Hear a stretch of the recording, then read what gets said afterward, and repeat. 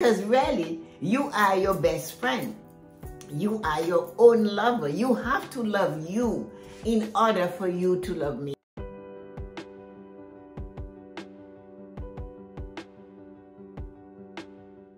You are despondent because you're constantly told that you should love yourself. You do not understand what it means to love yourself.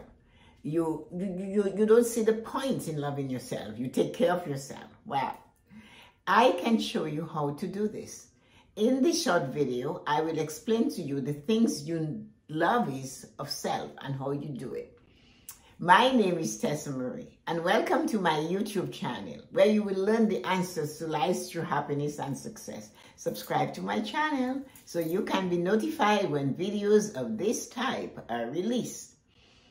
In this short video, I'm going to talk to you about loving yourself. Loving yourself starts the same way you would love somebody a feeling of intense love and affection or a feeling of intense affection. You can do the same thing you do for somebody else. In loving yourself, you care about you, you're concerned about you, you make sacrifices for you, you do things to enhance you, you do things to make you feel better because these are the same things you would do if you're in love with someone. You will enhance them. You would love them. You would be intense about them. You'd be passionate. You would be joyful in their presence. You would be breathless in their presence. You would be so happy in the presence of that human being. That is what it is. So think of how you would feel if you were in love with someone or when you have been in love with someone. The way you reacted to them, you saw them intense affection, smiles, joy, it's, it's like you cannot do without them. You would do anything for them. You would sacrifice for them. You would dance for them. You would do anything to make them happy. That's exactly what you need to transfer to yourself. Exactly what you would do to the significant other, your soulmate, the one you love and you love so much. That's what you do because really you are your best friend. You are your own lover. You have to love you in order for you to love me. I get it. You do not understand what it means to love yourself because it's not our fault. We were not taught to love ourselves. When we tried or when we made an effort or when we did love ourselves, we were told we were narcissistic, we were selfish, we were self-centered, we were better than others, we were just too much.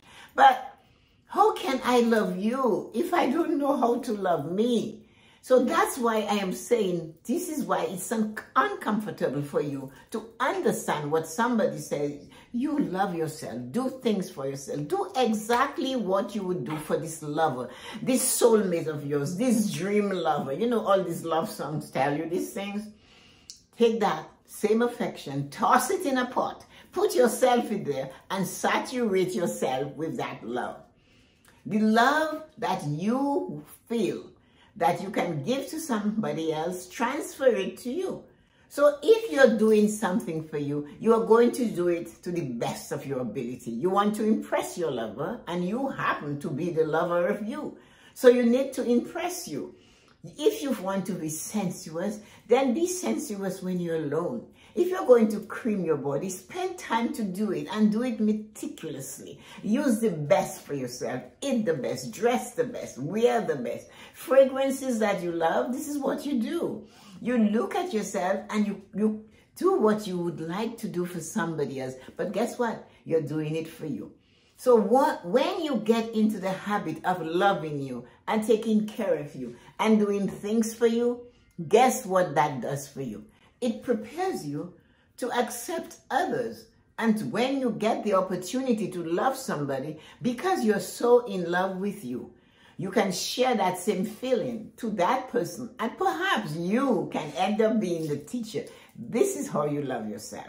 You love yourself by doing, thinking, behaving in all the ways you would for another person, for somebody that you love, a lover, a sensuous being in your life.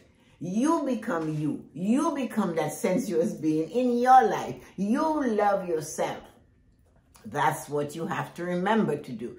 If you have it in you to put yourself first, and love yourself and care for yourself, then you can do it for others. So what it is your friends are telling you to love you is to love you like you would love your lover.